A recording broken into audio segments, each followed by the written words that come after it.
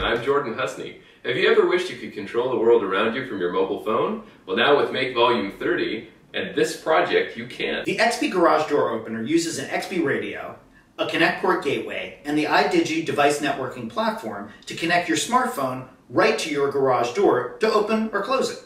And best of all, you can do it yourself by following the instructions from the article and ordering things from the website that's listed at the end of this video.